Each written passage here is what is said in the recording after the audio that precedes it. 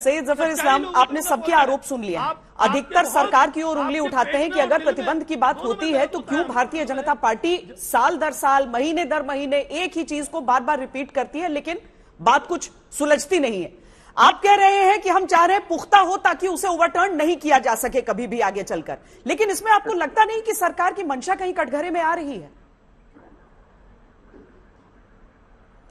बिल्कुल नहीं। देखिए मैंने इसीलिए कहा कि इतिहास को भी खंगाल के देख लीजिए। पहले भी बैन किया गया है और बैन करने के बाद राहत कोर्ट ने दी है। कुछ ना कुछ कहीं ना कहीं कमी रही होगी, इसलिए दी गई है। हमें पुख्ते तौर पे जब सारे सब, सबूत, जितने भी सबूत उनके लिए चाहिए, बैन करने के लिए चाहिए, जो कोर्ट में दरकार होती है, वो जब तक नहीं होंगे, तब तक आप ज़ाहिर कोर्ट के दरवाजे खटखटाइए, खटखटाने का मौका नहीं दीजिएगा। लेकिन जो कार्रवाई करने की बात वो कार्रवाई हो रही है। और साथ साथ बाकी जो कार्रवाई होनी है चाहिए वो कार्रवाई हो रही है लेकिन बैन करने का जो है वो एक, एक प्रक्रिया है प्रोसेस है। प्रोसेस के तहत बैन किया जाएगा और उस पर पुख्ते तौर से किया जाएगा। लेकिन मैं जरा सुन रहा था सभी लोगों को मुझे अफसोस हो रहा है कि कांग्रेस के प्रवक्ता अभय दुबे जी के सुन के अभय दुबे जी जरा से भी चिंतित नहीं दिखे। उन्हें अभी भी सत्ता और मलाई में ही इंटरेस्ट है और उसी के बारे में चिंता कर रहे हैं।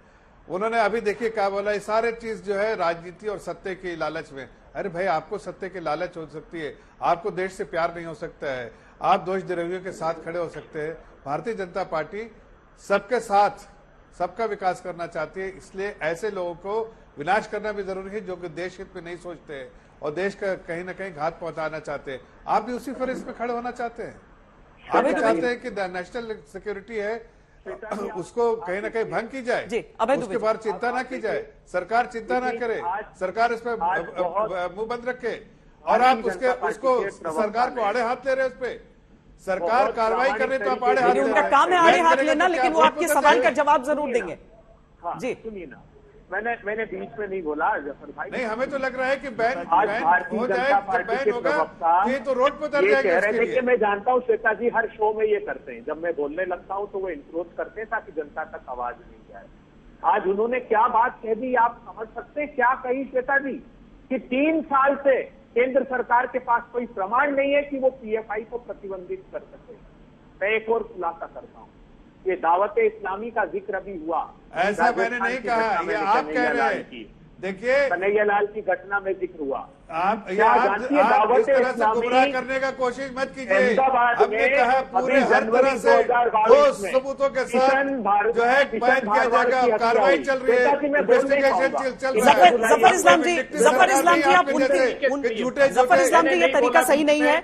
आप उनकी बात आप उनकी बात पूरी होने के बाद उनका खंडन कर लीजिए। नहीं नहीं इससे फिर कोई बात ही नहीं समझ पाएगा कोई फ़ायदा ही नहीं है। मैं मैं बिल्कुल टोकता नहीं श्वेता जी। आप एक लाइन में अपनी बात रखिए और उसके बाद बीच में नहीं बोलिएगा आप उसके अंत में बोलिएगा। जी।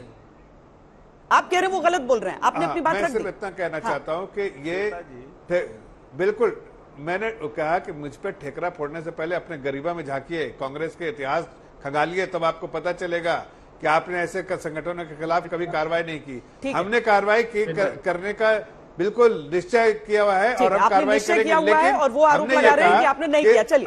अदालत का एक प्रक्रिया अदालत का एक प्रक्रिया होता है और और एक जो है जो कार्रवाई करने की कार्रवाई चल रही है। इन्वेस्टिगेशन चल रहा है। ठीक है अब अब उनको बोलने दीजिए। हाँ। मैं गंभीर बात कहता हूँ।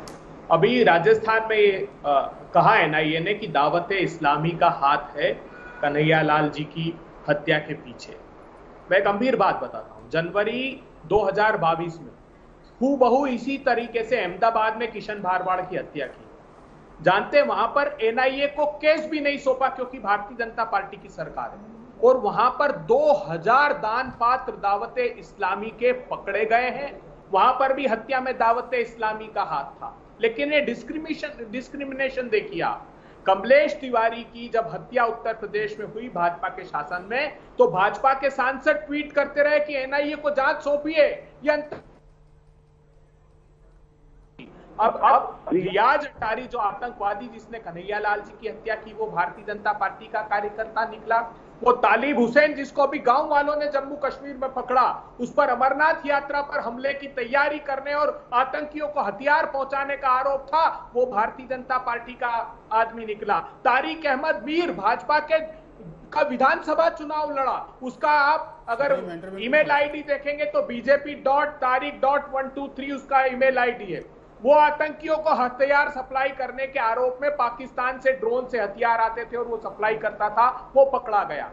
सैफुल्ला फारूक जो आतंकी था मैं जवाब दे दूँ? जो आतंकी था जिसको पाकिस्तान मैं जवाब दे दूँ? से ट्रेनिंग ली अजहर मसूद का शागिर्द उस सैफुल्ला फारूक को भारतीय जनता पार्टी ने वार्ड नंबर 33 से टिकट दिया। ठीक है इसका जवाब ले लेते हैं जल्दी से। जी। ज़फ़र इस्लाम जी। हेलो क्या सुन पा रहे हैं आप मुझे? जी नहीं आपके आपके आरोपों पर गंभीर आरोप आपने लगाए हैं। श्वेता श्वेता जी अरे, श्वेता जी, आपको- देखिए मैं ये ये ये, सिर्फ़ चाह रहा ये, था, सा, ये सारे जी, आपकी आवाज़ टूट रही है। इनकी भी बनाई हुई स्टोरी है। लेकिन ये इनके श्वेता जी। इनके देखिए मनगढ़ंत कहानियाँ हैं। ये भारतीय जनता है। पार्टी अरे सुनिए आप जरा गलत बयानी से काम मत लीजिए आप और कभी कभी देख कोई कोई कोई ऐसा आदमी के लोगों से नहीं लोगों के साथ फ़ोटो खिंचाता है उसका मतलब नहीं कि पार्टी में है। लोगों के साथ साथ बहुत लोग फ़ोटो खिंचवाते हैं उसका कोई प्रमाण पत्र के साथ नहीं फ़ोटो खिंचवाते हैं। आप भी खिंचवाते हैं हम भी खिंचवाते हैं सभी लोग खिंचवाते हैं। कोई इसका कोई इससे ये नहीं कह सकता कि वो पार्टी के साथ है या किसी व्यक्ति के साथ है। लेकिन अरे आपके आपके तो आज मीडिया खुलासा पर हो गया है। एस आई टी का खुलासा हुआ है आपको पता है ना? आपका एस आई टी एसआईटी का आप तो आप तो स्टोरी बनाने में आप तो स्टोरी फंसाने और आपने तो फंसाने का काम किया। आज आज देखिए सोनिया गांधी जी के इशारे पे अहमद पटेल जी ने क्या क्या किया? किस तरह की गंदी तो राजनीति की? आपकी ये आप- आज आपको पता चला, खुलासा हुआ। ये आज का खुलासा आपको पता चला कि नहीं? ये सब यही काले कारतूत करते हैं आप।